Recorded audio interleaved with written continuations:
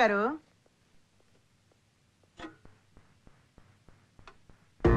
పూజ గారు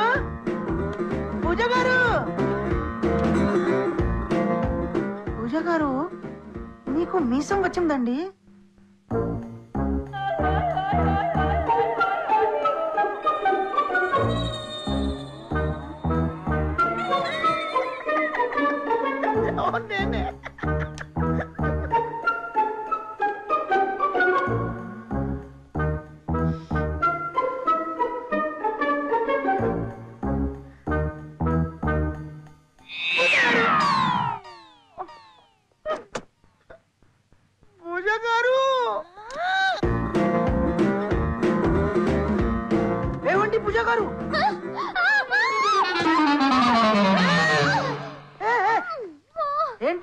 పడిపోయారు రండి బయటకు రండి ఏ సెక్సీగా కనిపిస్తానా మిమ్మల్ని చూసినా ఆ కళాంజలి గాడ్ని చూసినా ఒక్కటి పూజా గారు ముందు బయటికి రండి రండి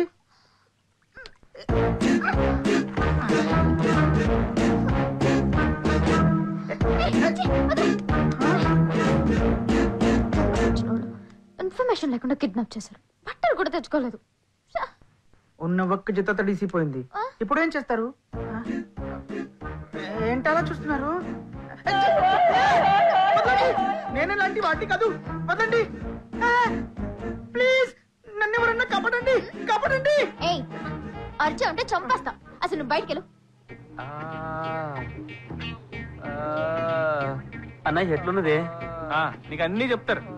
నాకు మస్తు బాధేస్తున్నదే నీకు బాధ ఏంట్రా వదిన బాధపడాలి కానీ వదిన లేదు కదే ఆరు నీ అబ్బా ఆడి టార్చర్ కంటే మీ టార్చర్ ఎక్కువైపోయిందిరా అబ్బా అన్నా కృష్ణమూర్తి దగ్గర నుంచి పోనే ఏదిరా మ్యాటర్ తెలిసిపోయి డీలోకి చేయడం చేస్తుంటాడు మాట్లాడనా hello Krishnamurthy no Krishnamurthy the side dictionary hero వైగ్యూ mister కాలు అరే చంపకుండా కృష్ణమూర్తికి ఇవ్వరా no details tell no Krishnamurthy talk ఈడు ఇంగ్లీష్ భాషతో చచ్చిపోతున్నాం కదరా సార్ నేను ట్రై చేయను సార్ నీకు ఇంగ్లీష్ వచ్చా బ్రహ్మాండంగా వచ్చు సార్ మాట్లాడు okay sir hello sir hello who call again this is Diwakar Prabhakar Sudhakar One man calling you, three names telling you. Have you got shocked, sir? Sir, there is a beautiful story behind that. No stories tell you. Only details tell you. Sir, it's a beautiful story. Please listen. Sir, I had a grandpa. His name was Tataji. And he had three grandparents. One Tataji, three grandparents. How is it to? Just like that, sir. Three grandparents, three names. Divakar, Prabhakar, Sudhakar. My Tataji liked those names very well.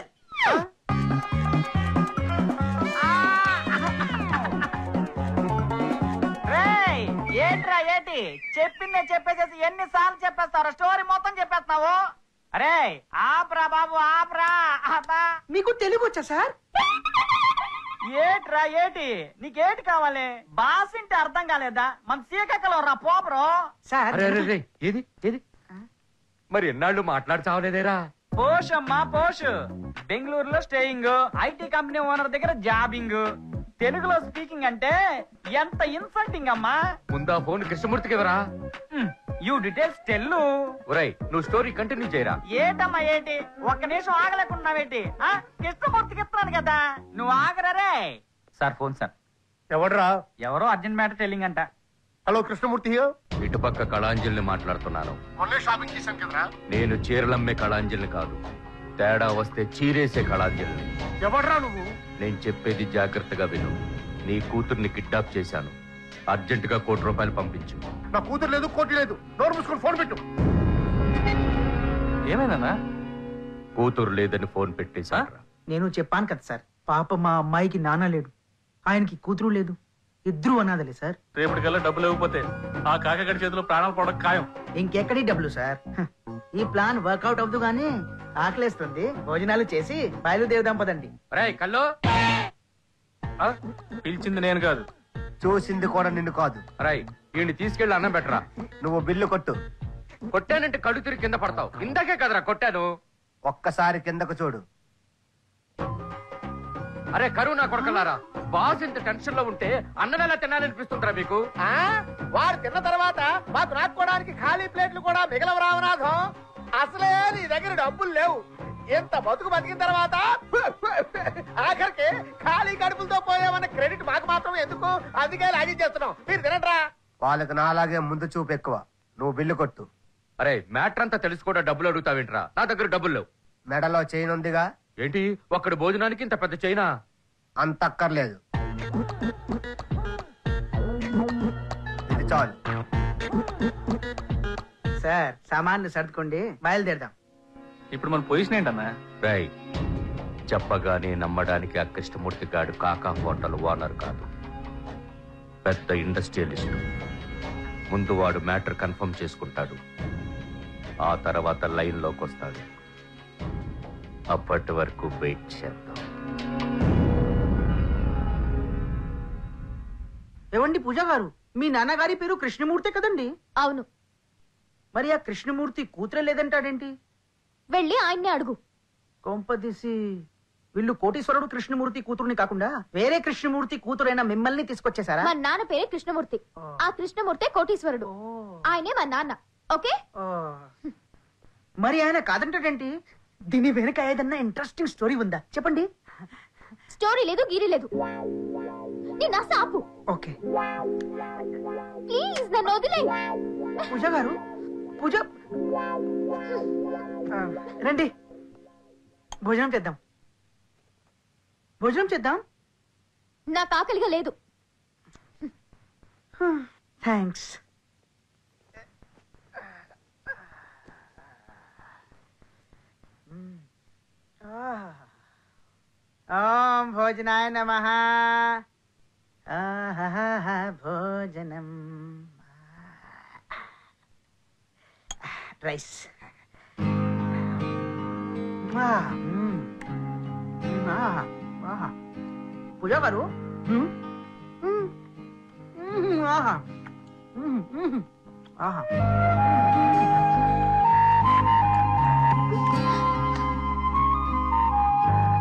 నాకు తెలుసు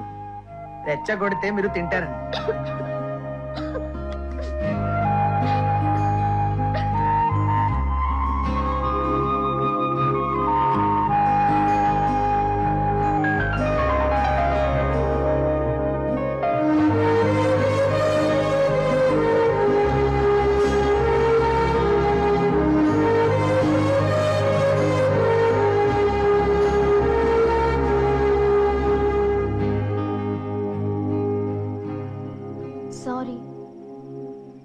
అబద్ధం చెప్తున్నావు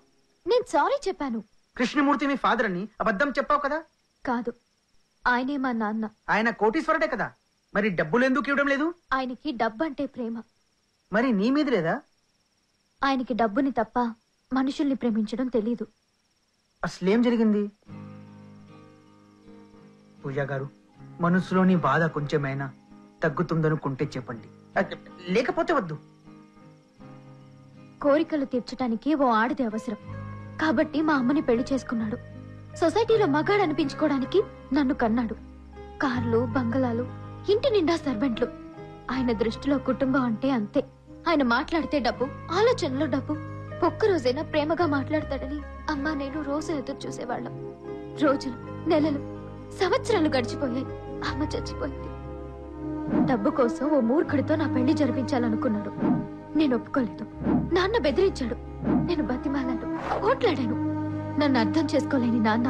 నాకు అక్కర్లేదనుకున్నాను నాన్నని ఆ ఇంటిని వదిలొచ్చేశాను ఆ తర్వాత జరిగింది ఏ రోజైతే నాన్నని వదిలేసి వచ్చానో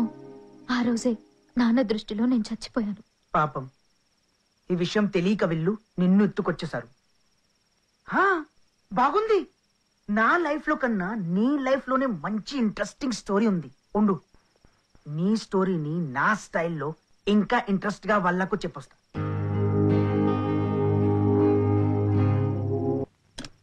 కడుపంత నిండిపోయింది ఫుల్గా నిద్ర వచ్చేస్తుందిరా ఖర్చులు డబ్బులు ఇవ్వకుండా బాస్ అంటే కుదరదు ఇక్కడ అది కాదురా ఒంటరిగా నేను ఒక్కడిని గదిలో పడుకోలేనురా ఈ అడవిలో ఫిగర్లేని దొరకగానే సగం బట్టలు వేసుకుంటా ఇది తీసుకెళ్ళు నేను ఆ టైప్ కాదు నేను ఆ టైప్ కాదు మరి తోడు దేనుకో ఈ ఏరియాలో దెయ్యాలు తిరుగుతుంటాయంట